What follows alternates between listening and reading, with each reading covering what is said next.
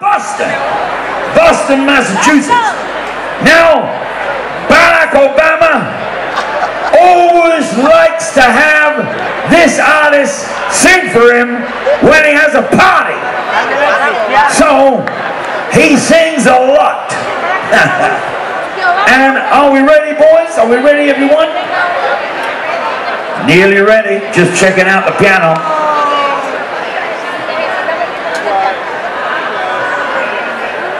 right? Hey, this has been three years. We haven't been here. Three years. Tres años. Too many years. It's great to see you. Fantastic. Fantastic. Ready, boy? Okay.